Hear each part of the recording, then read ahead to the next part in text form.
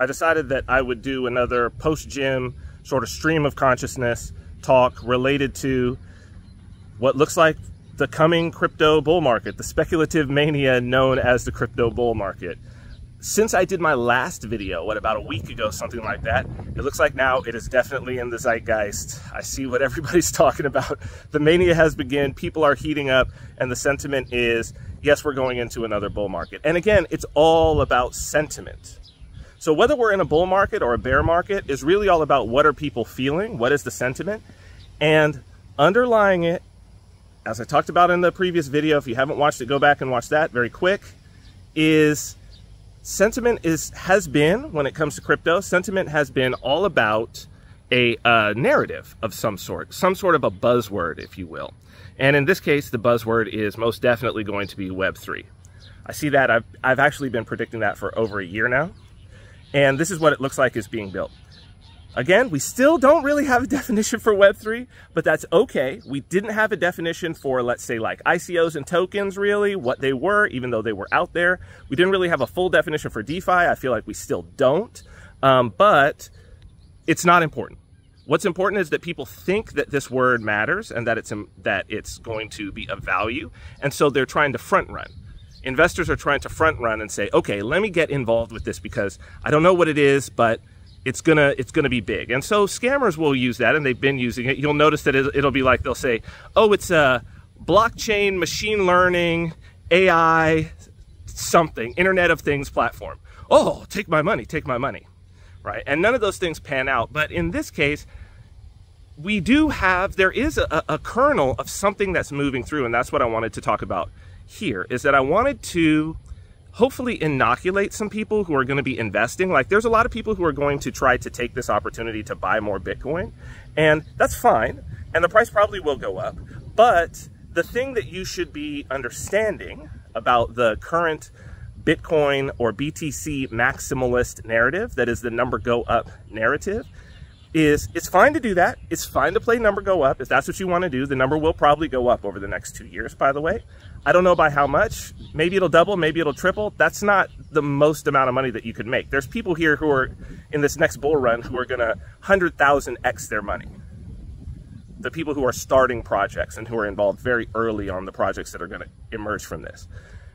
Uh, one of the, the, the biggest let's say, I don't want to call it a lie, but the biggest problem with the number go up narrative when it comes to BTC is that they always frame Bitcoin's value proposition as it's going to defeat the, the US dollar, the fiat dollar. Uh, this is not the case. This was never the case. Um, and as a matter of fact, if we look through each of the steps of the previous bull markets, what you see about Bitcoin is that Bitcoin actually makes the US dollar more valuable because it makes the US dollar more useful. So I tell people the story that when I first bought Bitcoin, the reason I was buying Bitcoin was because I was in an all cash US dollar paper physical currency business and I didn't want to put my money in the bank. I wanted to continue using cash as cash. And I could purchase and sell BTC, Bitcoin, it was the only thing you could at that time in terms of cryptocurrency. I could do that with cash. So what did that mean? That meant that my that BTC actually made my US dollars more valuable because I didn't have to store them. It wasn't even about number go up, but I had a whole bunch of money in a safe, and believe me, the anxiety that was associated with that for me every day sucked. And I also couldn't use that cash, those paper physical dollars, in online purchases. And BTC, when it first came around, what everybody was using it for, and not that I wanted to use it for this, but just what everybody was using it for was for Silk Road. So basically, they were buying drugs, something that you simply could only have bought before with physical USD. So now I could take my USD physically, purchase Bitcoin, and then I could buy something that I could only previously purchase with the paper USD. Well, do you see, in that case, it doesn't destroy USD it actually makes USD more valuable, more useful, and therefore drives demand for paper USD. And that's been true at every step of the way. Particularly true in the last hype cycle, because what was the last hype cycle? What was the big thing? Tether. Of course, the 2014 hype cycle was all about, or 2013 hype cycle was all about tokens. And out of that came two big things. So in 2014, right at the height or at the as the hype cycle is going down for 2013, Ethereum is released, and so is Tether, USDT. And Tether is first released as a token on the BTC network using a token protocol called Omni. So it is on BTC that USDT, the digitalized open cash dollar, is first released. So it is Bitcoin that enables USDT. USDT, of course, makes US dollars more useful, more valuable. There's no question about that because that's what DeFi was all about. The whole thing was with DeFi was you would take your digital US dollars, USDT or USDC, and you would put them into these decentralized exchanges as a liquidity pool. You'd basically loan them your dollars and then you could earn 3%, 4% back automatically, which at the time was better than buying US treasuries. So it made, but it's all about the US dollar because these are US dollar backed reserve currencies.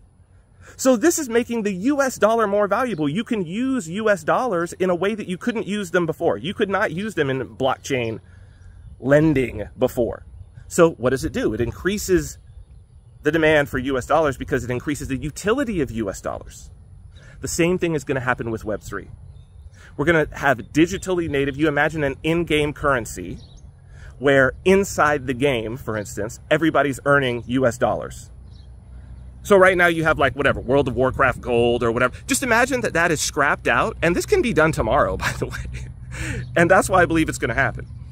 But imagine that that's just taken out, right? And instead of whatever the in-game currency you have is, it's actual digital dollars like USDT that you can leave from out of the game and go directly to an exchange. And you can exchange it in the same way that you do USDT. Or maybe it will be USDT or USDC. So this is what to think about, and it's well, I'll, I'll talk more as we go on. But the first thing that you need to do is understand this Bitcoin makes and all of crypto makes U.S. dollars more valuable. It's also one of the reasons why we are not going to see it. It is actually the whole rise of crypto. You could view it as a sort of a um, defense mechanism by the U.S. dollar to stop itself from losing dominance the dominance of crypto equals the dominance of the US dollar, the further dominance of the US dollar, the penetration of the US dollar into other areas. So all of these places that have wrecked economies where they're like, Bitcoin fixes this. Why are these people buying Bitcoin? Because it's a proxy for the US dollar. Because it's denominated in US dollars. Which means that since it's denominated in US dollars, what can you be guaranteed of?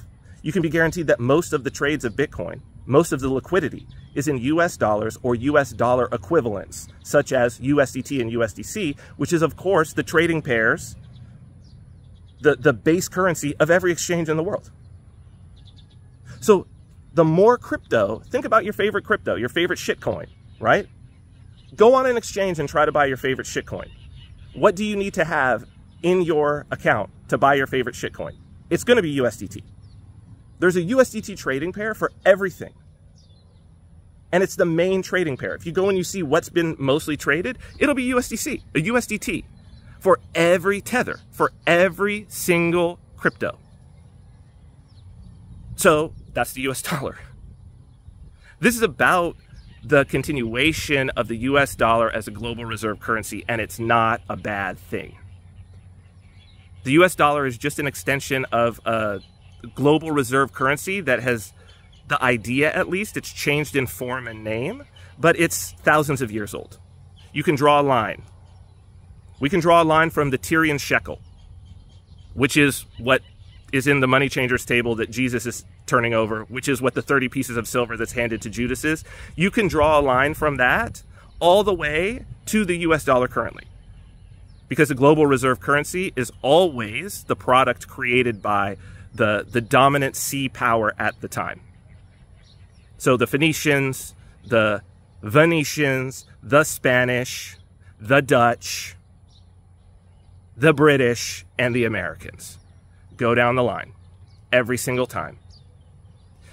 So that's like a deeper understanding of currency that uh, maybe I'll talk about. It's not short form. Talk about I talk about it in Bitcoin Mystery School, and I write about this, of course, in Counter Markets. So if you have not been checking out Counter Markets, countermarkets.com. Go get your first issue for free. I want you to go and pick up past issues so that you can see that pr the predictions that I've made on this are correct. My article this month goes into depth about what's coming, and it also draws upon an article I wrote 2022, July or August, that basically predicted the moment that we're in right now and predicted the exact cycle, the exact timing. And there's a lot of that. There's 80 past issues. We've been doing this for seven years now. But it's going to get really exciting over the next two years because all of us that are involved, from the editors to the writers, we've been through this many times. We see the cycle. And since we are all about trends and, trends and strategies for maximum freedom, that's actually our tagline, this would be the time to pick it up if you're not subscribed. So countermarkets.com. I'll keep doing these. You know, this one went longer than I would like, 10, 11 minutes, but I'll try to keep them a little shorter. I'll keep doing these and narrate, and hopefully we can give you some valuable information as you step into the next two years. All right, I'll see you next time.